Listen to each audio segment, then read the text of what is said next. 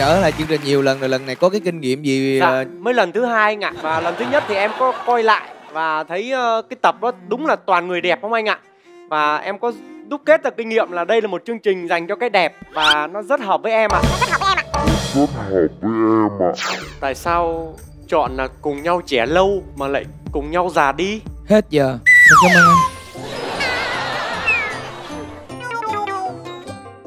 Hết giờ rồi. Khoa ơi, cùng nhau trẻ lâu là slogan của cái thẩm mỹ viện nha em. Giống như Khoa đó, vậy nhưng mà rất là quyến rũ, hấp dẫn chị. Nghe Giang nói sao tôi muốn uống cà phê kết cho tỉnh táo lại? Còn tôi vừa nghe Khoa, cái gì? Đây còn Khoa là một cái mùi vị lạ, em hiểu không? Một cái mắm tôm mà cái mắm nó được ngâm rất là sao lâu. đang em từ hiểu không? hoa lại sang mắm tôm? Chị em chị đang nói em là người Không, đàn ông quyến rũ đấy, thêm mắm tôm vào. bún đậu nó có cái quyến rũ riêng của mà nó mắm đúng tôm không? có liên quan gì tới sự quyến rũ của em đâu? Em đừng có nói là em không liên quan đến cái bún đậu. Người ta nói rằng là cái bún đậu người ta thích là bởi vì lúc đầu người ta thấy nó hôi Nhưng về sau người ta thấy nó ngon. Em là giống như vậy. Em không hôi em em có hôi đâu.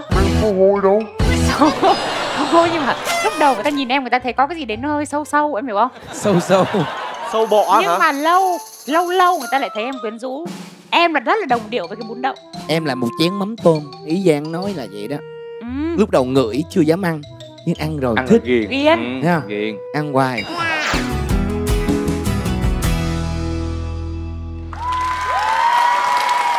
Giang Giang Giang Giang. Nhìn ừ. nhìn lại em liền nhìn lại em liền Thế số 2 có cho em được không? Đằng nào bạn ấy cũng không chọn đấy nếu chị nhìn lên trên đó sao động á chị nhìn qua em liền là hết sao động.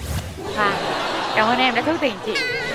Em như cà phê kết vậy đó. Đấy tính phu thê là một trong những cái yếu tố rất là quan trọng để chúng ta có thể lâu dài phát triển có vợ có con con cái hạnh phúc. Trong cái hiện trường này là chỉ có Khoa với lại Hương Giang là giống tướng phu thê nhất hai cái mặt giống y chang nhau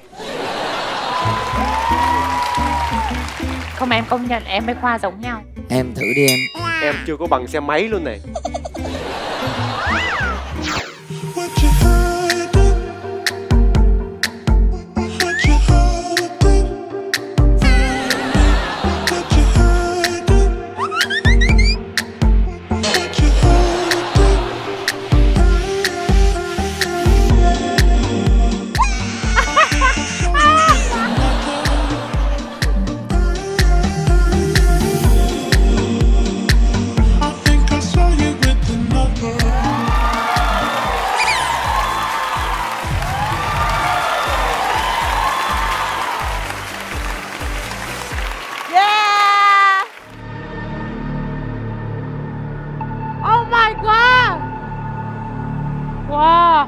anh cảm ơn em nhiều lắm anh sẽ nhận bông hoa này Wow, không chỉ ra. Tôi tính ra Hà giỏi chứ hả? à chú rể hả tại em đằng sau không thấy Come back home đi Khoa ơi. đây là một chàng trai có sự chân thành trong tình yêu bạn ấy muốn có một người mà yêu tới lúc già đi Thì đấy. mà đúng ra là theo kiểu đầu bạc răng nong đấy Ừ, ừ cái mối tình đầu của em thì lại gặp một người đàn ông không được trung thủy. Đúng Khoa nói đúng. hợp với Anh em. này trung thủy. một đàn ông trung thủy và hết rồi.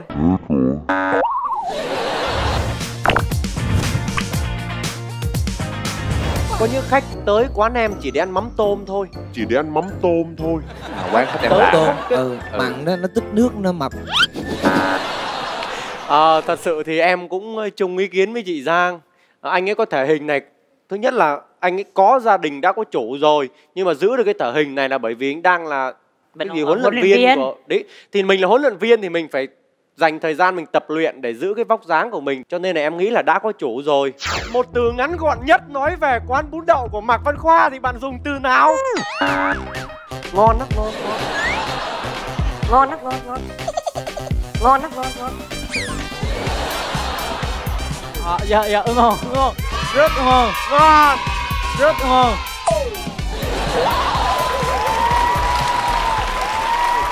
quán bún đậu mắm tôm của mặt văn khoa có phải là quán ngon nhất về bún đậu mắm tôm mà anh đã ăn không? Không phải. Không phải. Không phải ngon nhất mà. Không không đúng mà mình kinh doanh là phải khiêm tốn lại đừng bao giờ nghĩ mình ở trên đỉnh cao mình chỉ ở thứ hai thôi Ngoài món này anh còn thích món nào nữa không? À, thích nhất là bánh xèo. Bánh xèo. Bánh xèo miền Trung là rất thích, rất đúng không? Dạ. nhưng mà tại sao cái vòng này vòng đặc biệt rồi lại để chinh phục cô gái rồi lại dùng bún đậu mắm tôm Bởi vì bình thường bún đậu mắm tôm người nước ngoài không thể ăn được. Dạ. Nhưng mà mình rất yêu Việt Nam và rất thích văn hóa, văn hóa của Việt Nam. Thì mình muốn giải thích về mình muốn gặp con gái Việt Nam. thật sự bún đậu mắm tôm là một trong những món nó mang giá trị Xin mời rất là nhiều Toàn Võ.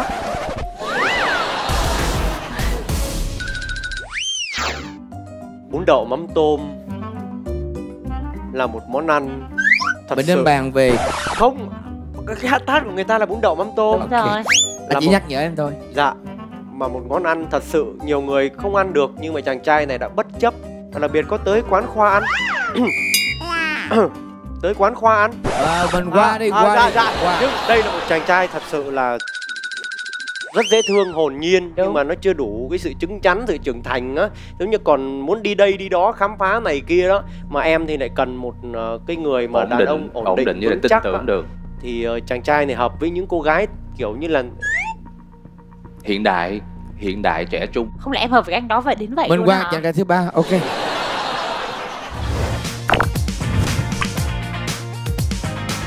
em không có một chút xíu nào nghĩ là tím anh ạ Ừ. thứ nhất chàng trai này có một cái giọng rất là ấm giọng rất đàn ông và nếu mà nói ngôn ngữ cao hơn một chút xíu là cái giọng rất thơ đấy kiểu an ủi không phải người phụ nữ buồn hay là gì nghe cái giọng này của chàng trai đứng ở sau lưng trước mặt bên ngang nghe cái giọng này thôi chưa cần nhìn mặt thôi cũng cảm giác nó rất là ấm áp. Rồi, ok. đấy với lại cái khúc mà anh anh ở lại là thật sự mọi người chưa biết mối tình của anh này. Anh ấy hát là cái tâm sự của cô gái. Cô gái muốn anh ấy ở lại nhưng mà thật sự anh ấy biết được mối tình đó anh ấy không ở lại. Một chiếc ô tô màu trắng chạy ngang qua cô gái có liếc nhẹ nhìn anh ấy. Nhưng ấy quay lưng đi mọi người coi phải kỹ anh ấy là người độc thân